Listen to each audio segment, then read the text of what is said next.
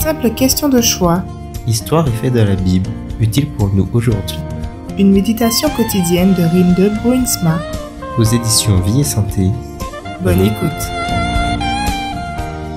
Nous poursuivons notre plan de lecture dans le premier livre des Chroniques au chapitre 17 à 20. Cette nuit-là, la parole de Dieu parvint à Nathan. Va dire à David, mon serviteur, ainsi parle le Seigneur. Ce n'est pas toi qui bâtiras la maison dans laquelle j'habiterai. 1 Chronique 17, versets 3 et 4. Après s'être fait bâtir un palais, David pense qu'il est grand temps pour lui d'accomplir un autre projet, en l'occurrence la construction d'une maison pour son Dieu. Mais il pense que quelque chose ne va pas. J'habite à présent dans un palais, alors que l'arche, le saint symbole de la présence de Dieu, reste toujours dans une tente. David fait part de ses sentiments au prophète Nathan qui, dans un premier temps, est immédiatement d'accord avec David. Il lui dit, fais ce que ton cœur te suggère. Mais bien que Nathan soit un prophète, cette fois, il a parlé avant son tour. Au cours de la nuit suivante, Dieu fait savoir à Nathan que son intention n'est pas de voir David construire le temple. Ce sera la tâche de son fils. Moi j'avais à cœur de bâtir une maison de repos pour l'arche de l'alliance du Seigneur. Mais le Seigneur m'a dit, tu ne bâtiras pas de maison pour mon nom, car tu as versé le sang, tu as été un homme de guerre.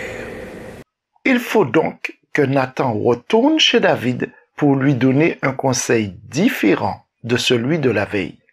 Nathan et David laissent voir ici qu'ils sont prêts à ajuster leurs idées et leurs projets à ce que Dieu dit.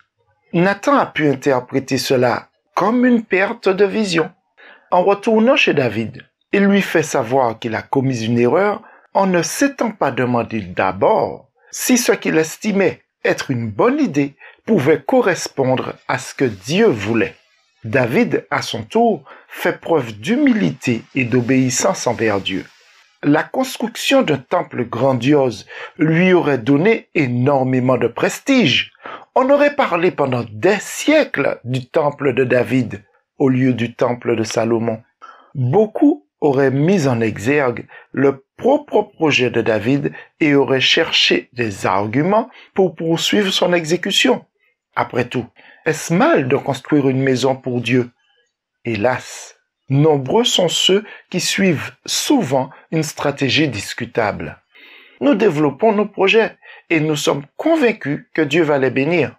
Et nous trouvons souvent très difficile d'écouter les signaux divins qui nous suggèrent d'ajuster nos plans. Dans certains cas, David ne peut pas être pour nous un exemple. Mais dans ce cas précis, il en est.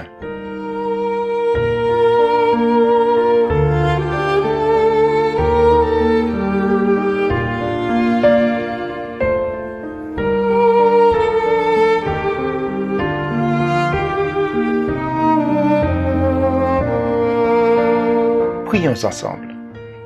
Notre Père Tout-Puissant, permets-moi de rechercher d'abord ton conseil avant de développer mes activités et ouvre mon esprit aux signes qui me montrent que je dois ajuster mes plans au tien. Amen.